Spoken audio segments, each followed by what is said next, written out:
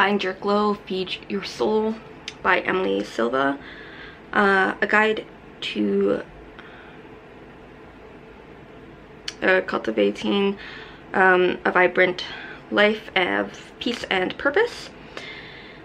Um, so you get table, the table of contents is basically the alphabet, so A, B, C, and like a word associated with that letter.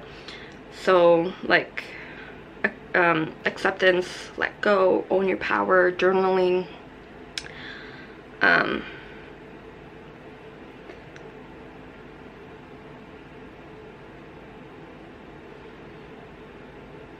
so you, you are getting 26 um, things that you could do.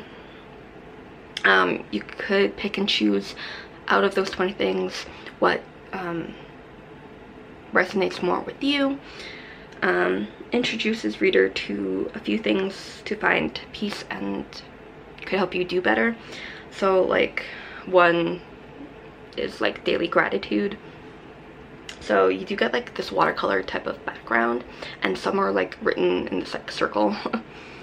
so like gratitude is a powerful action and feeling that, that we can mature day mature daily. Um, a gratitude journal is an amazing and effective tool to create a daily gratitude habit. Um,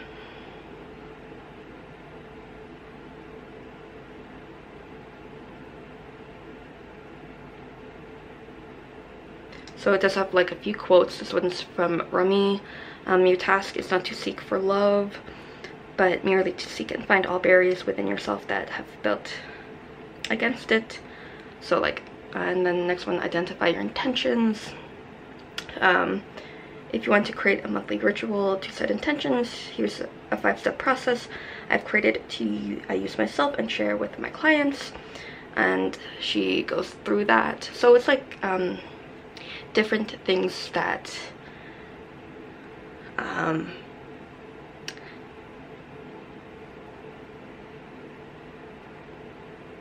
she like explains there's a bit of information but it's more of like her explanation of like these different topics. And you get like this um, geometric design. You can't really see it there. And then you get like some sort of quote. Um, but it is interesting and you do find um, a few different ideas and her um, process or like how she explains it. Um, so yeah, if you're looking for something like that, something like this, um, have a look to see if like your library has it or get like a physical or e um, book of it. But yeah, find your glow, find your soul. Happy readings.